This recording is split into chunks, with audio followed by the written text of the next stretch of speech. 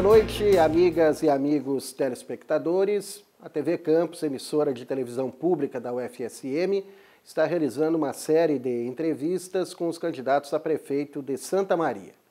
Nosso objetivo, como TV pública e comunitária, é qualificar a cobertura jornalística das eleições em nosso município e ampliar o tempo de televisão local para que eleitoras e eleitores possam conhecer melhor os candidatos. Todas as entrevistas são gravadas sem o conhecimento prévio das perguntas, que só são divulgadas no momento da gravação, e são as mesmas para todos os candidatos. Todos os programas têm o mesmo tempo de duração, com dois minutos para apresentação, três minutos para a resposta de cada uma das cinco perguntas e dois minutos para encerramento. O candidato que passar do tempo permitido para a resposta terá o tempo descontado para a próxima questão. Nosso entrevistado de hoje é o candidato Fabiano Pereira, representante da coligação Santa Maria que olha para frente, formada pelo PSB, PMDB, PV, PMN, PTB, PPS, PSD e Rede Sustentabilidade. Candidato, muito obrigado pela presença. O senhor tem dois minutos para a apresentação inicial. Queria dar boa noite a todos os telespectadores, te cumprimentar, Gilson Piber, e assim todos na, equipe né, é, da TV Campus, é, cumprimentar por esta abertura muito importante para que a cidade cada vez mais conheça os candidatos e possa, de livre escolha, votar bem para um novo ciclo que nós queremos iniciar em Santa Maria. Então, em primeiro lugar, eu queria cumprimentar a todos, dizer que nós estamos nessa caminhada com a maior coligação, eh, com o maior tempo de televisão, com o maior número de pré-candidatos e justamente com esta proposta que é de olhar para frente. Nós somos aqueles que vamos fazer uma campanha absolutamente eh, limpa, sem falar mal de absolutamente ninguém, porque sabemos que aquilo que está bom eh, nós temos que continuar, com os erros nós temos que aprender e consertar, mas o mais importante para o futuro da nossa cidade e para esse novo ciclo é nós olharmos para frente. E esse novo ciclo, ele estabelece justamente esta ideia de trabalhar juntos. É a sociedade civil, é as universidades, é o exército, é a prefeitura, todos de forma colaborativa nós podemos trabalhar juntos, porque temos uma cidade que é incrível, extraordinária. Santa Maria é um orgulho para todos nós em qualidade de vida, uma terra acolhedora, que tem sete instituições de ensino e 30 mil alunos, que tem a inteligência, a cultura, que tem uma história de talentos extraordinário e que nós sabemos que a nossa cidade cada vez mais precisa se unir em torno de um projeto de desenvolvimento. E eu fico muito feliz depois de ter sido vereador, secretário da Saúde, deputado estadual, presidente da Assembleia, secretário de Estado, de hoje poder representar coletivamente um grupo de santamarenses que justamente estão com esta ideia. Vamos pacificar, vamos unir Santa Maria, vamos olhar para frente num projeto de desenvolvimento com inclusão social, que é o que nós estamos batalhando, onde o centro é uma cidade humana com convivência comunitária. Vamos à primeira pergunta, candidato Fabiano. Uma das questões mais visíveis em Santa Maria é a infraestrutura para a mobilidade urbana. No caso do acesso ao campus da UFSM, duas grandes faixas que já não atendem ao fluxo crescente. Qual sua proposta para melhorar a situação de infraestrutura para a mobilidade urbana na cidade? Olha, esse é um tema fundamental importante e é o tema do século XXI. Né? Nós conseguirmos nos movimentar gastando menos tempo ter uma cidade onde o coletivo seja preponderante, mas também seja uma cidade de todos, onde tu possa andar de bicicleta, possa andar de skate, com, com outros, né, outras possibilidades e outros modais, e também uma cidade que cada vez mais seja apropriada por todos. Então acho que esse é o tema fundamental para reduzir a poluição, para reduzir o tempo e nós podemos ter uma mobilidade que funcione mais. Eu acredito que aí tem três questões importantes. Primeira delas, é, eu quero, como prefeito, liderar um movimento de prefeitos no país, dizendo que é inaceitável que hoje se pague imposto do óleo diesel do transporte coletivo. Nós precisamos reduzir esse imposto, liquidar esse imposto, e isso tem que baratear diretamente na tarifa, como também implementar o bilhete único, que é aquele que as pessoas não pagam né, a passagem, mesmo que andando em vários trechos. Então, acho que essa é uma questão que é fundamental. Nós precisamos baratear o preço da tarifa para que mais pessoas utilizem o sistema de transporte coletivo. O segundo é continuar batalhando para que as obras que aí estão possam se realizar, tanto a duplicação das nossas BRs, como também a duplicação da faixa de Camobi. Isso é muito importante, como também a interligação entre a faixa de Camobi e a faixa velha por dentro de São José, possibilitando atalhos, como também essa própria obra que vem por trás, por país aqui por trás da universidade, criando novos acessos, novos instrumentos, novos modais que possam garantir maior mobilidade de infraestrutura para a nossa comunidade. E eu acredito que o terceiro ponto, que é muito importante, é de fato nós estabelecermos novos modais de mobilidade. Tem 146 milhões no Ministério das Cidades para nós implementarmos o BRT. Hoje nós temos visto lá no Rio, em função da Olimpíada, onde foram implantados quatro BRTs, eu tenho estudado o assunto, e tem dado uma grande melhoria na mobilidade do Rio de Janeiro. Então essa é uma proposta interessante de um que saia da Tancredo Neves e que venha até, uh, até o campus fazendo com que cinco, seis ônibus saiam, inclusive, do trânsito e um só tenha regularidade, tenha tempo, tenha tranquilidade para chegar. Como também, como eu disse, no plano de mobilidade urbana, tem a ideia de construir essa cidade mais humana, onde se pense outros modais, né? como a ciclovia, como outros espaços onde as pessoas possam circular. Mas esse é um tema central, como também nós queremos discutir para que os recursos da Corsã possam ficar mais na cidade e esses recursos serem exatamente destinados a fazer asfalto. Né? Fazer asfalto de uma maneira integrada, em esgoto pluvial, cloacal, já coloca na calçada, já faz o asfalto, garantindo um outro tipo de qualidade das nossas obras viárias. Outra questão, candidato, que tem relação direta com o FSM é a infraestrutura de espaços de lazer. Desde que foi aberto à comunidade, o campus permanece lotado aos finais de semana. Qual sua opinião sobre a estrutura de espaços públicos de lazer em Santa Maria? Fundamental, todo mundo trabalha, todo mundo se vira e nós temos que aumentar o nível nosso de qualidade de vida. Isso que eu digo. Quem fica em casa se deprime, quem tem convivência comunitária, ela acaba isso sendo um gerador de autoestima, de mobilização fundamental.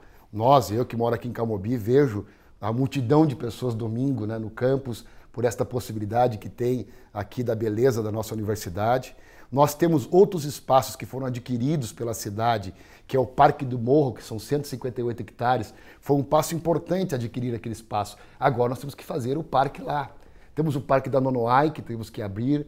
Temos o próprio Jockey Club na Zona Oeste, que foi comprado e que é um espaço hoje da prefeitura e que nós temos que colocar ele em atividade. Como também temos a maravilha do nosso Parque Itaimbé, que nós temos que iluminá-lo e muito e garantir segurança para que nós ganhemos um outro parque, um parque noturno também para a comunidade. Então, essa é uma questão que é muito importante.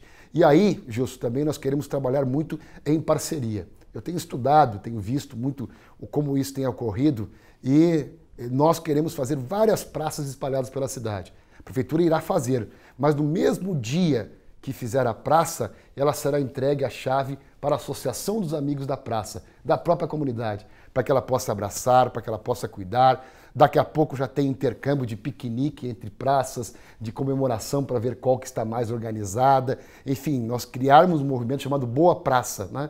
onde a comunidade também abraça, cuida e assim faz com que as crianças, os idosos, as pessoas todas tenham espaços aprazíveis também nas vilas e nas comunidades, gerando esse carinho e esta qualidade de vida muito importante. Então, eu queria cumprimentar a, a iniciativa que a universidade tem de fazer aqui o, o campus vivo, né? de, de, de ter essa facilidade para a comunidade e tenho muita convicção de que nós temos hoje já áreas como o Parque do Morro, o Parque Taimbé, da Nonoai, da Jockey Club, para abrir grandes parques no próximo período da cidade, como também fazer pequenas praças interligadas e estabelecer, inclusive, relações com a nossa Universidade Federal, e depois quero falar um pouco mais no final sobre isso, onde nós possamos ter as academias da terceira idade com orientação profissional, com pessoas capazes de poder não utilizar de qualquer jeito, mas inclusive com orientação, com horário marcado, sendo uma cidade mesmo que garanta segurança para as pessoas, porque quando as pessoas estão na rua, estão convivendo, isso também traz harmonia, isso também colabora com a segurança pública. Então esse é um tema para nós central, que é justamente a convivência comunitária, criar espaços cada vez mais que possam garantir qualidade de vida para os santamarenses. Candidato Fabiano, na área da saúde, Santa Maria é referência regional e o nosso hospital universitário, o USME, né, é a principal porta de entrada de dezenas de municípios para atendimento de urgência e emergência pelo SUS. Qual o maior desafio para qualificar o atendimento da saúde em Santa Maria? Olha, eu já fui secretário da Saúde, como você bem sabe, e aí é um espaço onde o prefeito vai colocar a mão.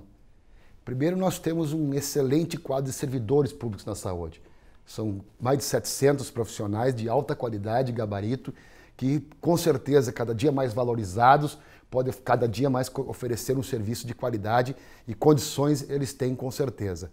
Segundo, nós estabelecemos três frentes importantes. primeira delas, trabalhar a questão da saúde preventiva.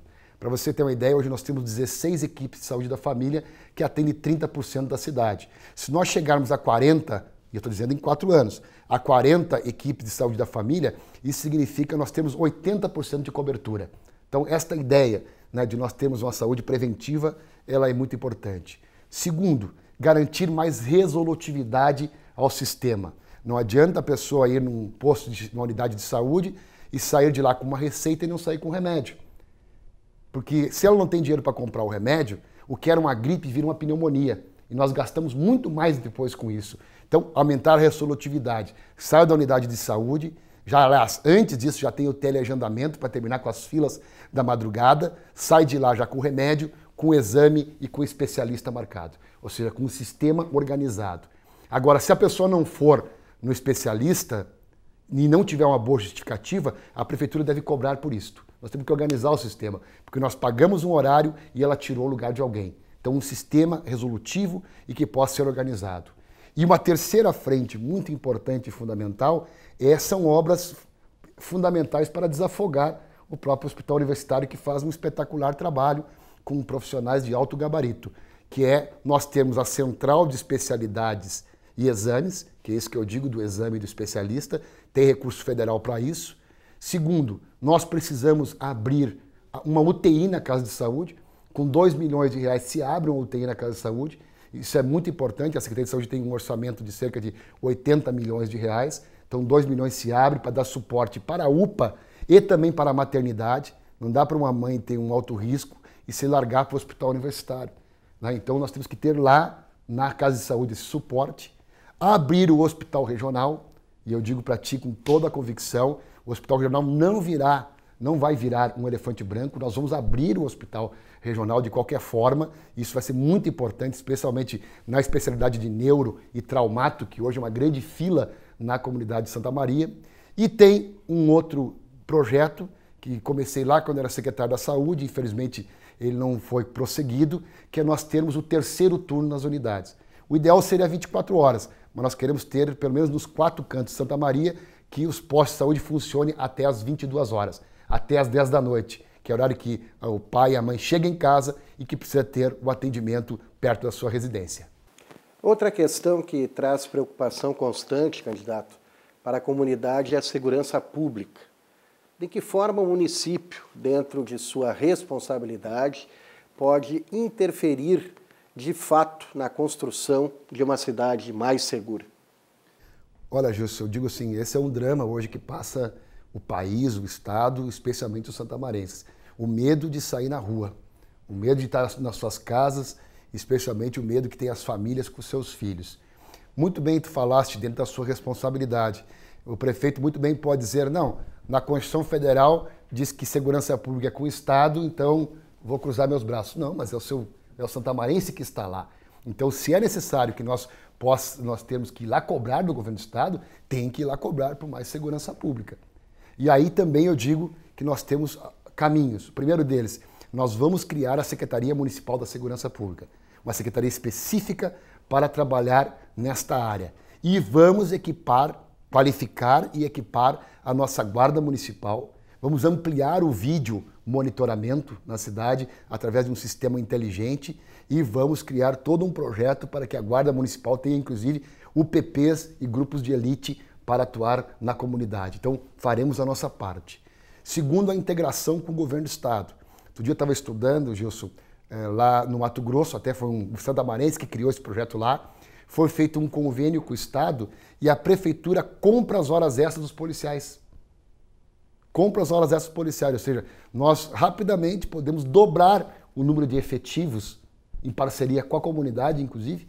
Hoje eu reunia com a Associação Rural e tratava desse tema, dobrar o número de policiais na rua, comprando já quem é eficaz, quem tem trabalho, quem tem treinamento, que são os nossos policiais. Então esse é um ponto que nós temos que trabalhar de forma integrada e também equipando a nossa guarda municipal. Mas também tem um terceiro ambiente, que eu falo, que a questão da segurança não é somente um caso de polícia, é também, e é fundamental, e é prioridade para a polícia. Agora tem um terceiro trabalho, que é o trabalho de prevenção.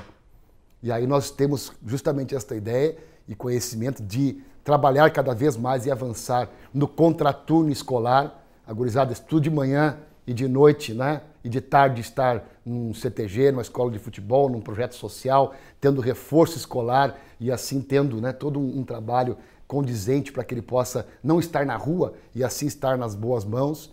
Que também nós possamos ter uh, os centros de juventude que irão funcionar das 5 da tarde até a meia-noite, que é justamente o horário que a gurizada está na rua, e um programa ousado e forte é, é, em combate às drogas. Né? Nós precisamos fazer com que nós possamos cada vez mais conscientizar e trabalhar nessa questão do combate às drogas, que é um elemento hoje cada vez maior é, de índice da criminalidade e que impulsiona inclusive o crime. Então essa é uma questão importante. E por fim, candidato Fabiano, que papel o senhor acredita né, que pode e deve ter o setor de educação, onde a UFSM está inserida, né, junto a diversas instituições, para o desenvolvimento econômico e social de Santa Maria? Olha, isso é palavra-chave. Né? Nós somos um polo educacional. Se pegar escolas dos municípios estaduais particulares e de ensino superior, nós temos quase 100 mil pessoas estudando na cidade. Olha o polo educacional que isso significa. Aliás, eu sempre digo o seguinte: tanta gente que vem para cá, ou santamarense que aqui estão, que são poucas cidades no mundo onde a pessoa pode nascer, crescer e se formar sem sair daqui.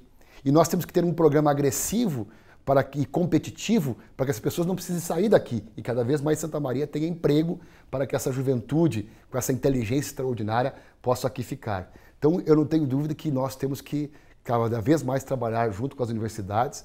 Eu tenho dito o seguinte, viu, Jesus? O primeiro ato que o prefeito irá fazer, o primeiro ato que o prefeito irá fazer, será assinar um protocolo de intenções entre prefeitura, reitor e terceira DE e o comandante do Exército.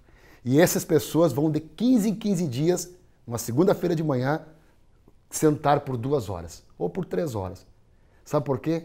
Porque esses três juntos coordenam 2,5 bilhões de recursos públicos na cidade. Todos saem do mesmo bolso, do mesmo contribuinte. Eles trabalhando de forma integrada, nós podemos fazer e muito por essa cidade. Tu imagina o potencial que tem a nossa universidade de inteligência, de projetos de ensino, de pesquisa, de extensão, quanta coisa boa nós podemos fazer e quantas já vem sendo feito e quantas algo mais podemos ter pela nossa cidade. Então, esse vai ser um trabalho integrado, cooperativo, conjunto, e a universidade vai ter um papel essencial e fundamental na nossa gestão. Como também nós queremos cada vez mais elevar a nossa educação infantil. Nós temos, para você ter uma ideia, hoje 19 mil alunos em 75 escolas municipais. Desses, 5.700 são já na educação infantil, que eu imagino e que nós vamos trabalhar para que toda criança esteja na creche porque para o pai e para a mãe é importante, mas porque também é direito da criança. Porque quem pode pagar está na creche. Se o filho de quem não pode não está, já chega na primeira série em defasagem. Então nós temos que garantir o acesso universal à educação infantil. E digo mais, Passo Fundo fez a primeira creche noturna do país, das sete da noite às sete da manhã. Eu tenho dito, se Deus quiser, a partir do ano que vem, Santa Maria será a segunda creche noturna do país para aqueles que trabalham no hospital, no hotel, na, de cuidadora, em tantos outros lugares por aí, possam também ter essa possibilidade de, de trabalhar. E continuar esse projeto cada vez mais de valorização dos nossos professores. Sem os professores, não existe absolutamente nenhum projeto. Valorizar os nossos professores e cada vez mais trazer a tecnologia para dentro das escolas municipais para que a gente possa continuar se orgulhando de um polo de excelência educacional no país. Muito obrigado, candidato Fabiano Pereira, pelas respostas. O senhor tem agora dois minutos para o encerramento. Eu queria mais uma vez agradecer aí, Gilson, a TV Campus, dizer de fato, estabelecer essa ideia de parceria que nós teremos junto com a universidade. Nós vamos assinar um protocolo, Exército, Reitor e Prefeito, e intercalado em cada uma das suas sedes, de 15 em 15 dias sentar. Tu imagina quanta coisa boa dá para ser feito de projetos de mobilidade, de segurança pública, de projetos de educação, de parceria na saúde, de projetos que possam trazer o nosso desenvolvimento. Nós temos hoje um tecnoparque extraordinário, temos um distrito industrial, temos uma cidade em que as rodovias estão sendo duplicadas, em que quatro hotéis estão sendo construídos, em que o maior shopping do interior eh, do estado está sendo construído. Eu não tenho dúvida que nós temos uma prefeitura que, embora com várias dificuldades, mas tem pago servidores em dia, tem pago fornecedores em dia, ou seja, não deve para ninguém. Então eu acredito que quando o Brasil voltar a girar, nós com a economia sanada, com investimentos que estão vindo e com a potência que nós temos a partir das nossas universidades, eu sonho e acredito muito que nós vamos ter um futuro muito próspero e muito bonito para a nossa querida cidade de Santa Maria. Então, estamos nessa jornada. Mais uma vez, muito obrigado.